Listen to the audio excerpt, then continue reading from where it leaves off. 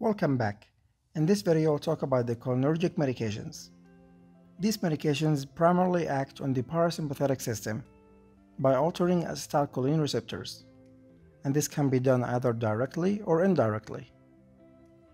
The direct-acting cholinergic medications primarily work as acetylcholine, so they trigger the same response as if acetylcholine have triggered the receptor.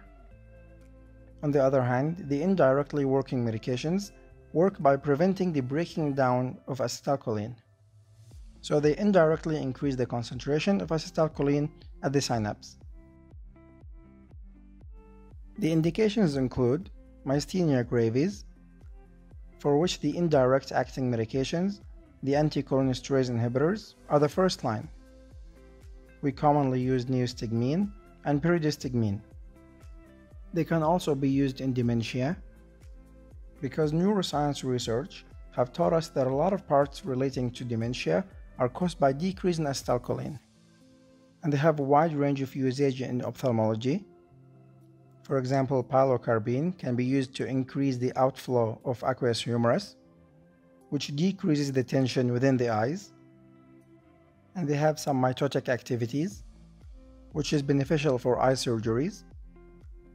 They can also be used for post-op urinary retention, as activation of the parasympathetic system promotes diuresis.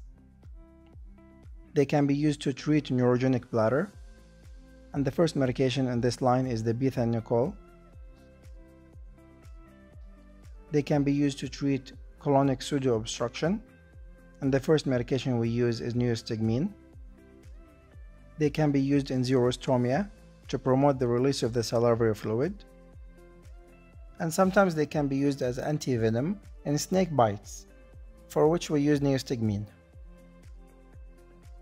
To remember the contraindications, think of the situations where you don't want parasympathetic activation, such as bronchial asthma, peptic ulcer disease, arrhythmias, coronary artery diseases, closed angle glaucomas, hyperthyroidism, urinary obstruction, orthostatic hypotension, and severe miosis.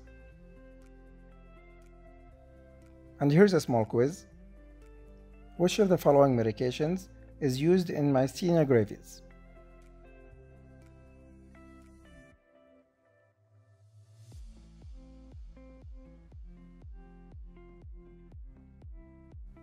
And here is the answer.